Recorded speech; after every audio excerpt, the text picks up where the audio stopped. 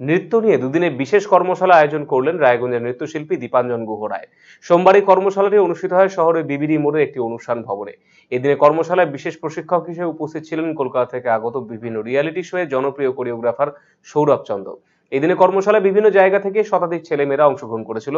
জেলা নৃত্যে উৎসাহী ছেলেমেয়েদের বিশেষ প্ল্যাটফর্মের জন্য প্রস্তুত করতে এই আয়োজন বলে জানিয়েছে উদ্যোক্তা।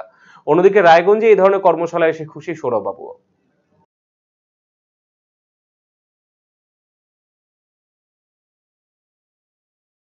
11, 16, 17, 18, 19, 20, 18, 19, 20.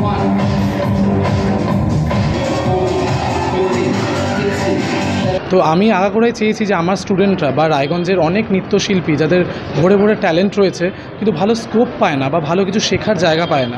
সবার সামর্থ্য সেরকম নেই যে কলকাতায় গিয়ে গিয়ে নাচ শিখবে বা কারও অনেকের পরিস্থিতিও হয় না। তো ওই জন্য আমি এটাই চেয়েছি যে স্যারের কাছ থেকে অন্তত দুদিন যদি কিছু টিপস রিয়েলিটি শোতে কীভাবে যেতে হয় বা কিছু বডি স্টাইল যেগুলো আমাদের রায়গঞ্জে খুব বিরল। কারণ আগেই বললাম যে যাওয়ার সুযোগটাই আমাদের হয়ে ওঠে না। তো আমি ওই সুযোগটা ছোটোবেলা থেকে পেয়েছি। আমার স্যারকে আনার অনেক দিন ধরেই ইচ্ছা ছিল, কিন্তু বিগত লকডাউনের জন্য আমি আনতে পারিনি। তো মেন কারণ হচ্ছে এটাই যে স্যারের মতো ভালো শিক্ষা এবং ডান্সের দ্বারা শিক্ষা এবং ভালো কিছু বডি স্টাইল যাতে শেখে, পরবর্তীকালে অনেক বড় জায়গায় যেতে পারে অ্যাচিভমেন্ট করতে পারে।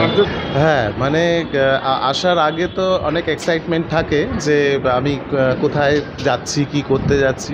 কিন্তু এটা আমার নিজের ঘরের মতনই। দীপাঞ্জন আমার শুধু ছাত্রই নয়, আমার সন্তান তুল্য, আমি ভাইয়ের মতন ভালোবাসি। তো সব কিছু দিয়ে আমার একটা পরিচিত জায়গায় যেখানটায় আমি আসব। আর আসার আগে আমি ভাবতেও পারিনি মানে কল্পনারও বাইরে যে এত সুন্দর একটা অনুষ্ঠান ও উপস্থাপন করতে চলেছে।